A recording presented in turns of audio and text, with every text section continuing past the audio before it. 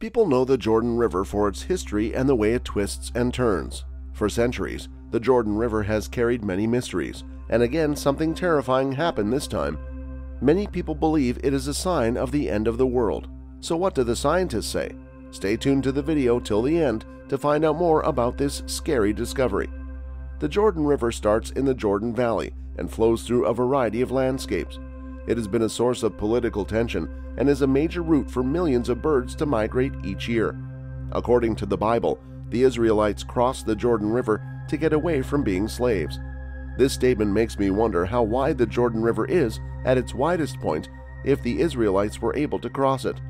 At its widest point, the Jordan River is 15 miles wide and it is about 223 miles long. Mount Hermon, which is on the border between Syria and Lebanon, is where the Jordan River starts. The main rivers that feed into the Jordan River are the Hasbani, the Baniyas, and the Dan.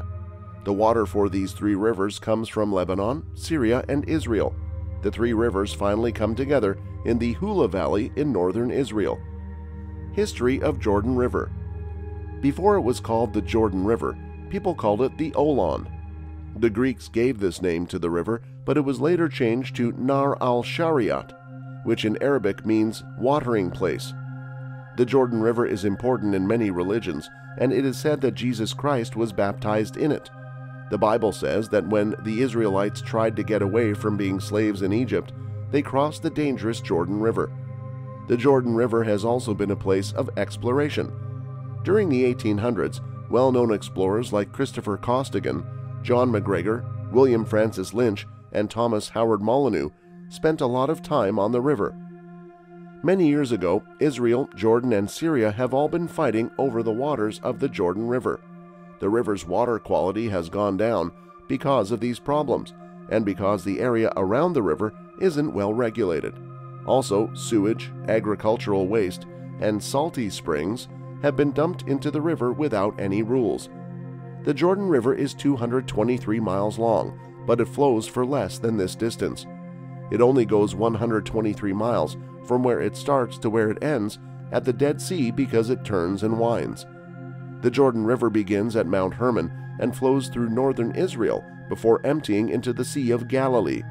From there, it flows out of the Sea of Galilee and separates Israel from the West Bank which is controlled by Israel. Lastly, it flows through the Zur floodplain in Jordan. After going through the Zur, the Jordan River forms a delta and flows into the Dead Sea. The Hasbani River, the Banias River, and the Dan River are the three main rivers that flow into the Jordan. But the Jordan River has other important streams that feed into it.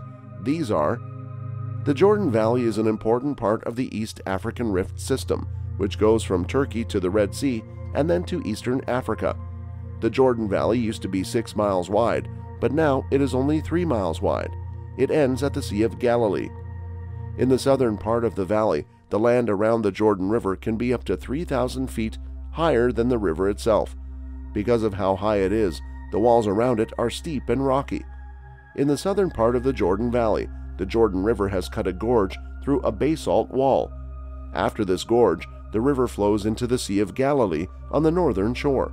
This lake is in charge of how fast the river flows. After leaving the Sea of Galilee, the Jordan River flows through a plain called the Gar.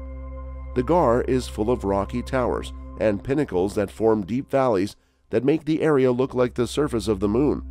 Also, the Jordan Valley has a floodplain called the Zur, which is made up of fields that are watered.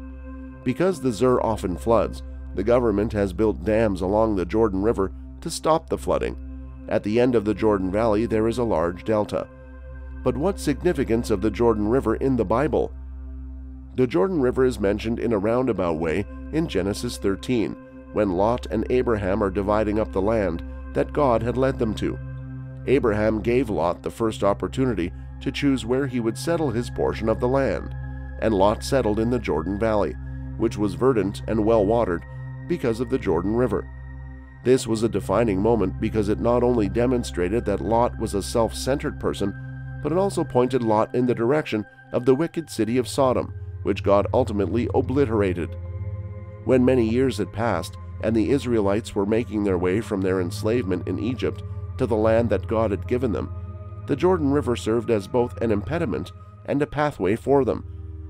As a consequence of mistrusting the Lord's care when he first brought them to Canaan, the Israelites had to spend 40 years wandering in the desert. Moses, meanwhile, was not permitted to enter the Promised Land and was only allowed to view it from a mountain that was located across the Jordan River before he passed away. The Israelites had been punished by spending 40 years in the desert. The Israelites of the following generation were the ones who found themselves on the banks of the Jordan River, poised and ready to cross into Canaan at last. Now the only thing that remained in their way was the Jordan River, and it had reached flood stage. Joshua, the new leader of the Israelites, obeyed the order of God and told the priests who were carrying the Ark of the Covenant to stop in the middle of the river and stand there. They complied, and the flow of water in the Jordan River halted almost instantly, clearing the path for the people to cross it on dry land. The invasion of Canaan then got underway. The tribes of Gad and Reuben, along with half of Manasseh, settled on territory on the east bank of the Jordan River, but they first assisted their fellow Israelis in capturing the Promised Land. After the Israelites miraculously made it across the Jordan River, Joshua instructed the people to construct two memorials. Twelve stones were taken from the river and placed on dry ground, and twelve stones were taken from the banks of the river and placed in the middle of the river, when the priests had been standing. Hence, the site of God's display of might on Israel's behalf was memorialized for future generations. The Jordan River is mentioned a great number of times in the Old Testament, most frequently in accounts of conflicts and battles involving the Israelites. Gideon led the Israelites to victory in their struggle against the Midianites by seizing a vital location on the river. After some time had passed, King Saul and several of his sons were killed in a conflict that took place close to the Jordan River. In a number of additional instances, it is stated that the Jordan River was crossed in order to fight an adversary. Elisha told Naaman, a Syrian, to bathe in the Jordan River so that he could be healed of his leprosy. And Elisha also caused a sunken axe head to float on the Jordan River.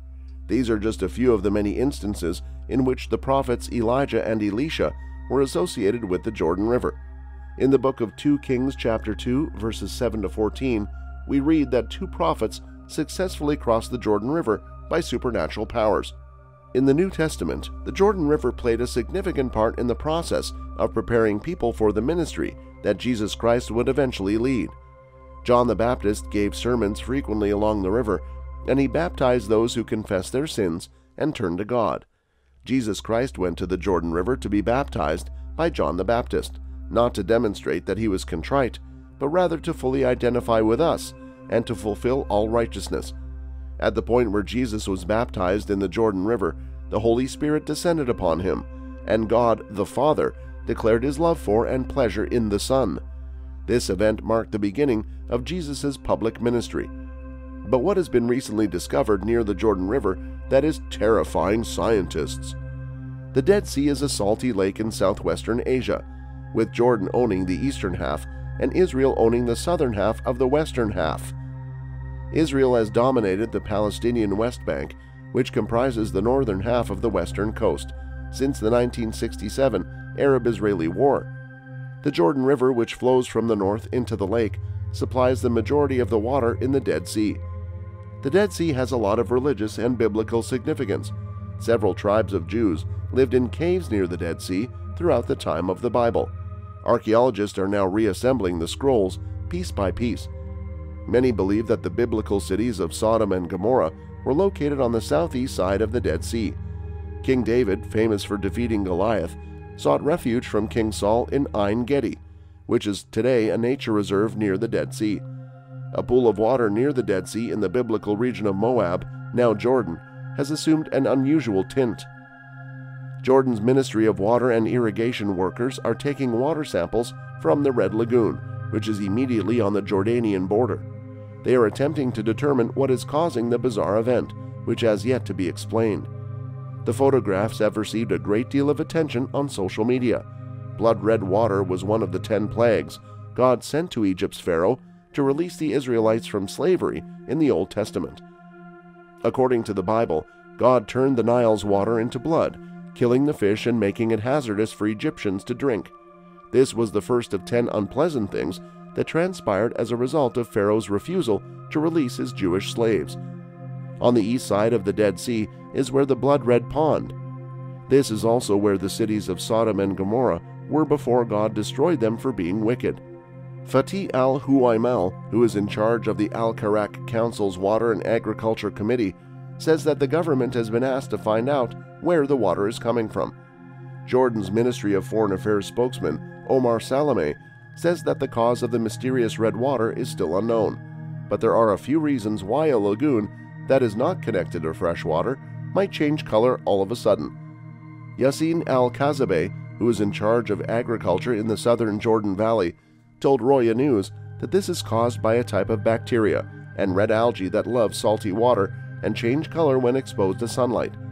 But this doesn't explain why the water turned red all of a sudden when other pools haven't done the same thing, especially since the area is sunny almost all year long. Other officials told Israel Today that the water's iron oxide could be to blame for the strange color change. However, they did not say how the iron oxide got into the pool or why the color changed so quickly. Head of the Jordanian Geologist Syndicate, Sakar al Nusur, told Al Gad News that people might have put things in it to make it red. A lot of Jordanians agreed with this view. They said the government was hiding a source of pollution or using the pool as a place to dump waste chemicals. In southern Israel is a salt lake called the Dead Sea. It is in the Judean desert, which is to the east of Jordan. It was made about 4 million years ago and is the lowest place on Earth. It is one of the saltiest places on Earth to find water. It has a salinity of more than 30%, which means that its water is full of minerals. People have always said that bathing in the Dead Sea is good for your health, even though the water is so salty that it can't support marine life. People with breathing problems like cystic fibrosis seem to do better in this area because the air pressure is higher it is also a great place to treat skin problems because of the temperature, humidity, and minerals in the water. People with knee osteoarthritis have also been said to feel less pain when they use mud packs from the Dead Sea. But the Dead Sea has shrunk a lot in recent years. Most likely, climate change is to blame. At its widest point, it is about 31 miles long and 9 miles wide. It is thought that the Dead Sea's water level has dropped more than 131 feet since the 1950s, and it is still dropping at a rate of about 2 feet per year. So that was all about the video. Hope you find it informative. Then do subscribe to our channel, hit the like button, and press the bell icon for more updates like this. Thank you so much for watching, and we will see you in our next video.